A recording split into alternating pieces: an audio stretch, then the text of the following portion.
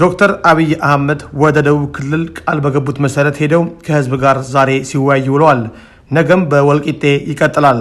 ዛሬ ጠዋት በሐዋሳ ከህዝብ ተወካዮች በኋላም ከሰዓት ወደ ወላይታ ሶዶ ሄደው ከአካባቢው ነዋሪዎች ጋር መክረው ነበር። በወላይታ የነበረው ስብሰባ ትንሽ ውጥረት ነበረበት። ህዝቡ እነ ሽፈራው ሽጉጤን ማየት አልፈልግም በማለት ሆኖም ግን ከስብሰባው በኋላ ተፈናቃዮችን ለመጎብኘት ሄደው ነበር። ዶክተር አብይ ከደቡብ ክልል ባለስልጣናት ጋር በመሆን በፊቼ ጨንበላላ በዓል አከባበር ወቅት በአዋሳ ከተማ ተከስቶ በነበረው ግጭት ጥቃት እንዳይደርስባቸው በመስጋት በሐዋሳ ታቦር ትምህርት ቤት ተጠልለው የሚገኙትን የወላይታ ተወላጆች በምን ሁኔታ ላይ እንደሚገኙ ለማየት ነበር ወደ ስፍራው የተጓዙት። ጠቅላይ ሚኒስትር አብይ እነዚህም በስፍራው የነበሩ ሰዎችን እየጎበኙ ባለበት ወቅት ግን የፕሮቶኮል ጉዳያቸውን ረስተው ስሜታቸውን መቋጠር አቅቷቸው እንባቸው በጉንጫቸው ኮለል እያለ ወረደ። ስደተኞችም ይህንን ሲያዩ አብረው ሲያነቡ ነበር። ይህም በፎቶግራፉ ይታያል።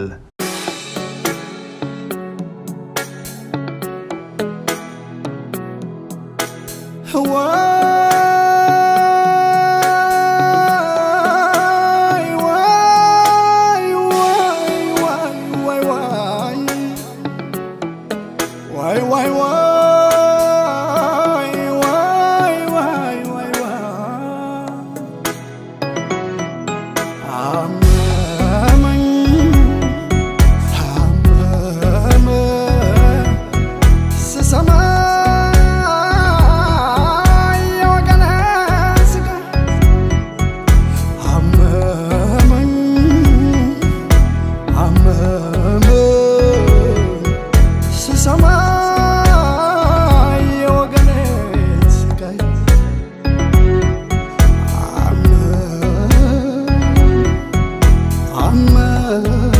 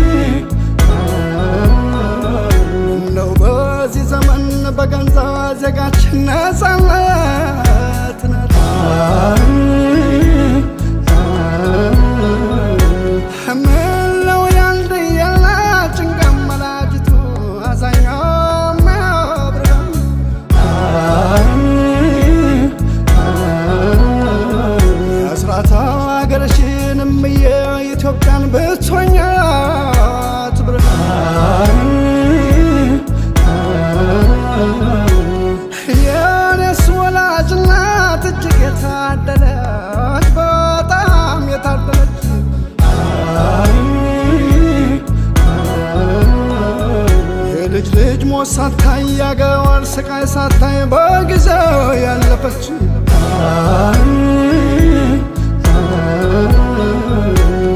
በልጇ ሬሳ ላይ እናት ተቀምጣ በግብፅ ትቀጣ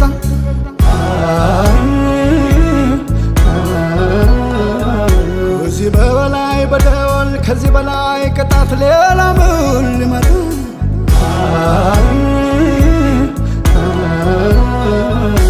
አመመኝ አመመኝ አዳነስ አመመኝ። የወገን ስቃይ ስሰማው አመመኝ። በስላሴ ሲወጉት ልጅሽን እንዴት አድርገሽ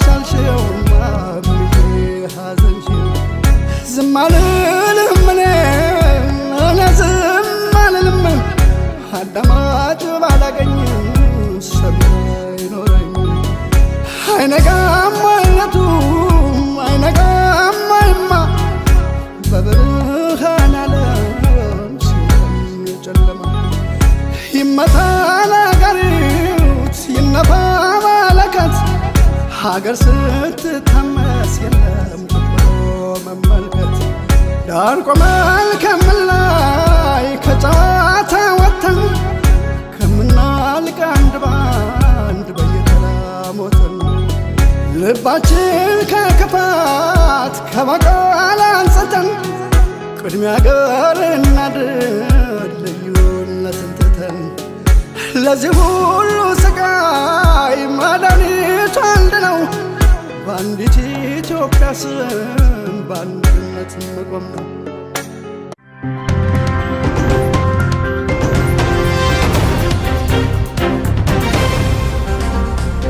ኢትዮጵያ በለውጥ ጎዳና ላይ ናት።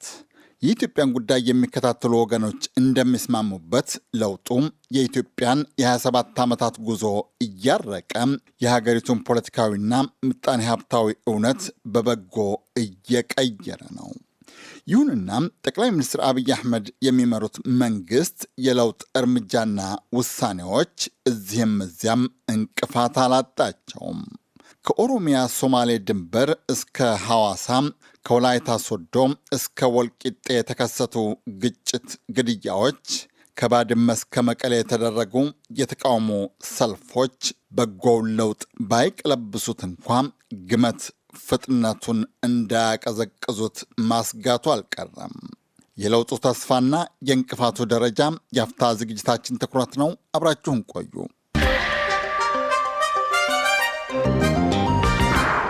ባለፉት 27 ዓመታት ለፖለቲካ እስረኞች ይቅርታ እንዲደረግ በተጠየቀ ቁጥር ከሀገሪቱ መሪዎች በተደጋጋሚ የሚሰጠው መልስ አንድም የፖለቲካ እስረኛ የለም፣ ሁለትም በፍርድ ቤት ውሳኔ ጣልቃ አንገባም የሚል ነበረ። እርቀ ሰላም እንዲወርድ ሲጠየቁም መልሳቸው ማን ከማን ጋር ተጣልቶ የሚል ሌላ ጥያቄ ነበረ። ካለፈው መጋቢት ወዲህ ግን በእርግጥ ለውጥ አለ። ለውጡ የአብዛኛውን ሕዝብ ጥያቄ በከፊልም ቢሆን እየመለሰ መሆኑን የሚጠራጠር የለም።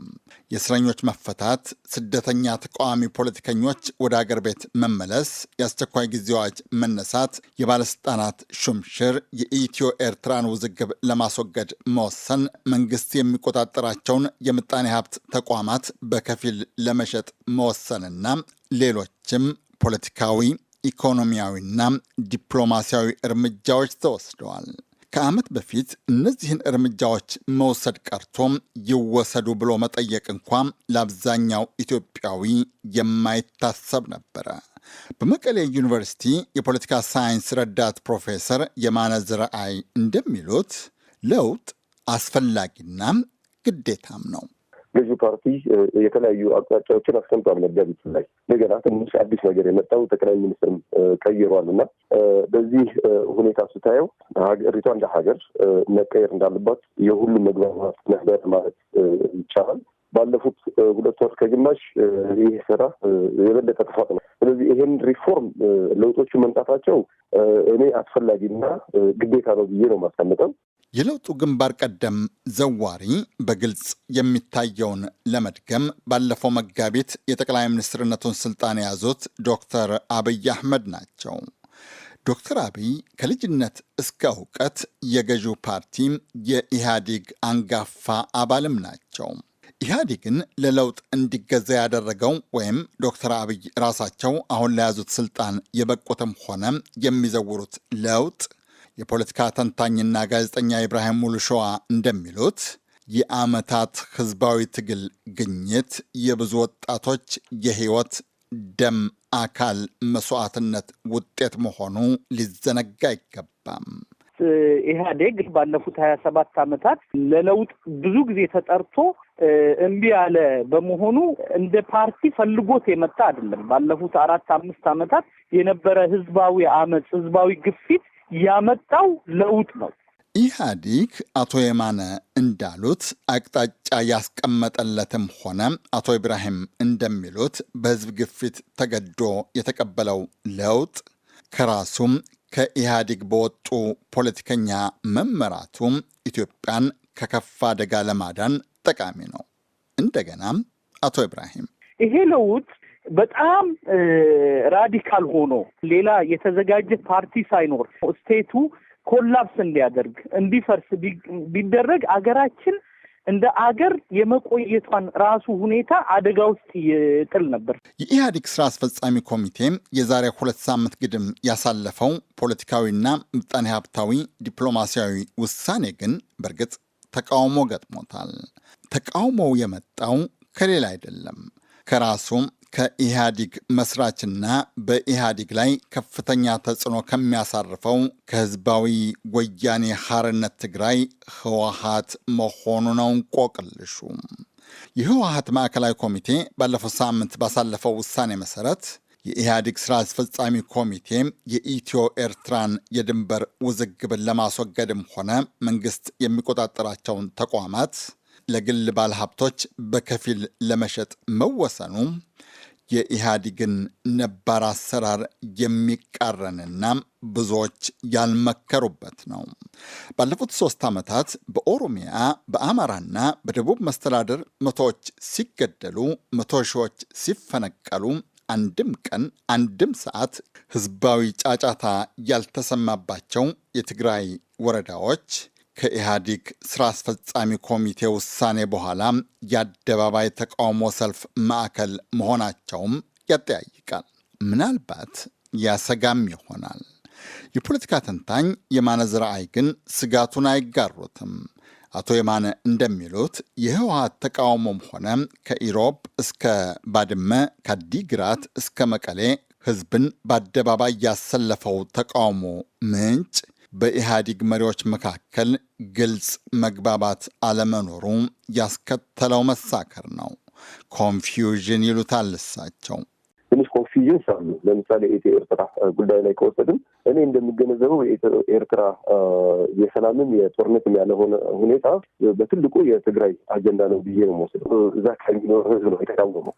እንዲፈታ ይፈልጋል። ችግሩ ግን ችግሩ የሚፈታው እኛም በመስጠት ነው ወይ እኛም በመስጠት የሌላም በማምጣት ነው ወይ የሚል confusions ነገር ተፈጥሮበታል። ይሄ እንግዲህ ያው በኢህአዴግ ውስጥ እነዚህ ውሳኔዎች ሲወስኑ ቅድም ባልኳቸው ዝርዝር ነገሮች ተገባብተው እና technical ነገሮችን አይተው ሳይሆን የተወሰኑ አቅጣጫዎች ካስቀምጡ በኋላ የችኮላ የሚመስል ነገሮች አንዳንዴም ደፍረው ሳይነጋገሩ የሰጧቸው መግለጫዎች አሁን ተመልሰው ወደ የድርጅታቸው ሲመጡ የኢህአዴግ ስራ አስፈጻሚ የህወሀት ስራ አስፈጻሚ አባላት እዛ። ወደ ክልላቸው ሲመጡም ሊሆን ይችላል። clarity እንዳልነበረው የሚያሳይ የፖለቲካ ተንታኝና ጋዜጠኛ ኢብራሂም ሙሉሸዋ እንደሚያምኑት ግን የኢትዮ ኤርትራም የምጣኔ ሀብት ታድሶ ለውጥ ወይም ሌሎችን ውሳኔና እርምጃዎችን አስመልክቶ የሚሰነዘሩት ተቃውሞዎች ሰበቦች ወይም መገለጫዎች ናቸው። ዋናው ምክንያት ኢህአዴግ ውስጥ ለውጥ አራማጆችና ቀልባሾች ትግል መግጠማቸው ነው። ይሄ ነገር አንደኛ ምን ያሳየናል? ኢህአዴግ ውስጥ ለውጥ የማይፈልጉ ኃይሎችና ጠቅላይ ሚኒስቴሩና ካቢኔያቸው የለውጥ አጋሮች እንደሆኑ የለውጥ ፈላጊዎች እንደሆኑ አገሪቱ ውስጥ ያለው የገዢው ፓርቲ መካከል ያለን ልዩነት ነው እንጂ የሚያሳየኝ ሌሎቹ ለእኔ ምክንያቶች ናቸው። የኤርትራ ጉዳይ ይምጣ፣ የኢኮኖሚ ሪፎርም ይምጣ፣ እነዚህን ምክንያት አድርገው ለውጥን የመቀልበስና ለውጥን የማካሄድ ትግል አለ ማለት ነው። አቶ የማነ ግን የለውጥ አራማጅና ቀልባሾች ትግል አለ ብለው አያምኑም። የጋራ ዓላማ ማጣት አንድ መሳከርና የግለሰቦች ፉክክር ይሉታል ልዩነቱን። ድርጅቶቹ የግንባሩ አባላትን solidly ግልጽነት ያላቸው አልመሰለኝም። አባል ድርጅቶቹ መካከልም confusion የፈጠረ ነው እንጂ በቀጥታ ዶክተር አብይ versus ህወሀት በሚል አልወሰድኩትም። እኔ ተግባራቶችን መንግስት የሚመራቸው ስለሆኑ ወደ ፖለቲካ ድርጅቶቹ ሲመጡ ይሄ ነገር ይታያል። የህወሀት መግለጫ ላይም ተንጸባርቋል ይሄ። ስለዚህ በአጭሩ የኢህአዲግ የግልጽነት ችግር ብለን መውሰድ እንችላለን ነገር ገና የሰዎች ውድድር የሰዎች መሰባሰብ መስማማትና even ፓርት አባል ድርጅቶቹ ውስጣቸውም ላይ አላማ ላይ እየሰሩ ነው ብዬ እያሰብኩ አይደለም። የግለሰብ ውድድሮች የሚመስሉ ነገሮች ያሉ ልዩነትም ተባለ ቅልበሳም ስጋቱ በህወሀት ማዕከላዊ ኮሚቴ ውሳኔና በተለያዩ የትግራይ አካባቢዎች በተደረገው ተቃውሞ ሰልፍ አላበቃም። ጭናቅሰን፣ ሐዋሳ ወልቂጤና ወላይታ ሶዶን ያሸበረው ግጭት፣ ግድያና ጥፋት ብዙዎች እንደሚያምኑት የተጀመረውን ለውጥ ለማደናቀፍ ተጨማሪ ምክንያቶች ናቸው። ጠቅላይ ሚኒስትር አብይ አህመድ ባለፈው አርብ በሰጡት መግለጫ የግጭት ግድያዎቹ ቆስቋሾች ፖለቲካዊ ዓላማ ያላቸው ኃይላት እንደሆኑ በግልጽ ተናግረዋል። ጠቅላይ ሚኒስትሩም ዛሬ ለሀገሪቱ ምክር ቤት አባላት በሰጡት ማብራሪያም አርብ ያሉትን በሌላ አገላለጽ ደግመውታል። የተደረገው የአመራር ለውጥን ተከትሎ የህዝብ ሰላምና መረጋጋት ለመፍጠር በህዝቡ ውስጥ የሰረጸውን የስጋት ያለመተማመንና የጥላቻ አስተሳሰቦችን ለማስወገድ የሚረዱ ስራዎች በስፋት ተሰርተዋል። በዚህም ምክንያት አንጻራዊ በሆነ መልኩ ከፍተኛ ተስፋ የሚሰጥ ሀገራዊ መግባባት፣ መነቃቃት፣ ሰላም፣ መረጋጋትና አንድነት ተፈጥሯል። ሆኖም ግን ይህ ለውጥ ወደ ኋላ ለመመለስ የሚጥሩ ግለሰቦችና ቡድኖችም እንዳሉ መዘንጋት የለበትም። በትግርኛ የሚታተመው ውራይና ጉዳያችን ማለት ነው ብለውኛል የሚያውቁ መጽሔት የያዝነው ወር እትም ያነጋገራቸው የቀድሞው የመከላከያ ሚኒስቴር የብረታ ብረትና የኢንጂነሪንግ ኮርፖሬሽን ሜቴክ በእንግሊዝኛ ምህጻሩ ዋና ስራ አስፈጻሚ ሜጀር ጀነራል ክንፈዳኘው አሉት። የተባለው ደግሞ ለውጡን ለማደናቀፍ ያሴራል የሚባለው ኃይልን ማንነት ጠቋሚ እንዳይሆን ታዛቢዎችን ያሰጋል። መጽሔቱ እንደጠቀሰው ጄኔራል ክንፈዳኘው ኢትዮጵያ ውስጥ የሚደረገውን ለውጥ የሀገራችንን ህገ መንግስታዊ ስርዓት የሚበላ ለውጥ በማለት አጣጥለውታል። የእስረኞች መለቀቅ፣ የአስቸኳይ ጊዜ አዋጅ መነሳት፣ የምጣኔ ሀብት ተሃድሶ ማድረግ፣ በሙስና የሚታሙ በህዝብ የተጠሉ ሹማምንታትን መሻር፣ የኢትዮ ኤርትራን የድንበር ውዝግብ ለማስወገድ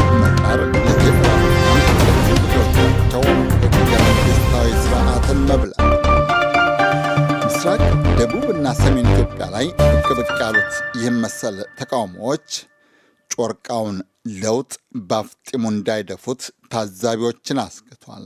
አቶ ኢብራሂም እንደሚሉት ስጋቱን ለማስወገድ ሁለት ነገሮች መደረግ አለባቸው። በጣም ስጋት ይሆናል።